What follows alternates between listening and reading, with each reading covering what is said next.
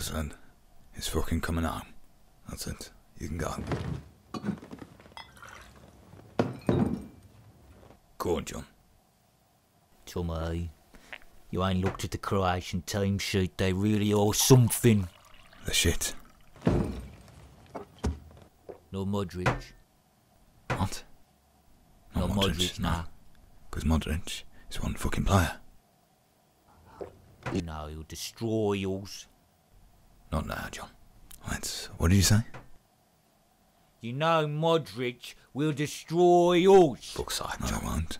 Because for legends like Henderson, John, stopping him will be a priority. Vincent's not a legend. Everyone who took a penalty is a fucking legend. Since when? Oh, yeah. We scored in a shootout, scored in a fucking shootout, blah, blah, blah, but we've still played like shit.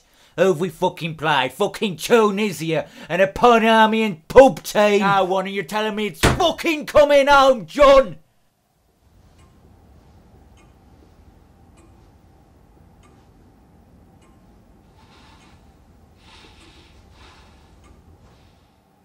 So this is how it's gonna be.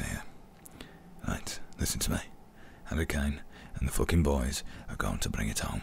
There's no better team than England left in this fucking tournament. Not France, not Belgium, and definitely not fucking Croatia. Alright, it's coming home, and when this business is done, Gareth Southgate's knighthood is the priority. Now, go and put up the fucking bunting and fuck off.